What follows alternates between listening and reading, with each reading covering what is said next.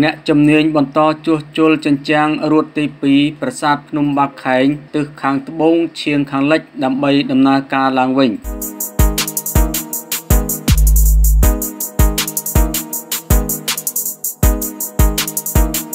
អាជ្ញាធរជាតិអប្សរាក្រមកិច្ចសហប្រតិបត្តិការជាមួយអង្គការមូលនិធិប្រាសាទពិភពលោក របស់សហរដ្ឋអាមេរិកបន្តការងារជួសជុលពង្រឹងជញ្ជាំងរួតទី2ប្រាសាទភ្នំបាខែងទិសខាងត្បូងឈៀងខាងលិចប្រវែង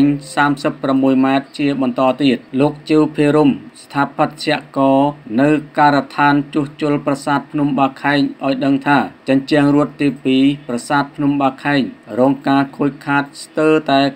90%ពិសេសនៅត្រង់ចំណុចកាច់ជ្រុង ធ្វើឲ្យប្រាសាទរណបបាត់បង់ថ្មស្ទើរតែទាំងស្រុង ហើយកំរាល និងជញ្ជាំងបានខូចខាតបាត់បង់ថ្មមួយផ្នែកធំ ការខូចខាតបណ្ដាលមកពីអាយុកាលនិងធម្មជាតិបណ្ដាលឲ្យឫសឈើដុះចាក់តាមកន្លៀតថ្មភ្នំនិងថ្មជញ្ជាំងទឹកភ្លៀងហូរច្រោះថ្មភ្នំពុកហុយព្រមទាំងថ្មជញ្ជាំងចល័តខុសពីទីតាំងដើម ការងារជួសជុលផ្នែករួតទី2នេះគ្រូនឹងបញ្ចប់នៅចុងឆ្នាំ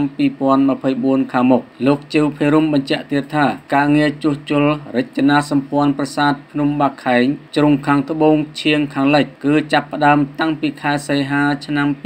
2019ដែលជួសជុលសម្រាប់នៅប្រាសាទរណបចំនួន4និងជួសជុលចណ្ដើរទាំង5ថ្នាក់សម្រាប់បាន90%ជាមួយគ្នានោះដែរក៏បានជួសជុលកម្រាលនៅតាមរួតទី3និងទី4សម្រាប់បាន30%ដោយឡែកក៏បានជួសជុលជញ្ជាំងរួតទី1រួតទី3និងរួតទី4សម្រាប់បាន80%។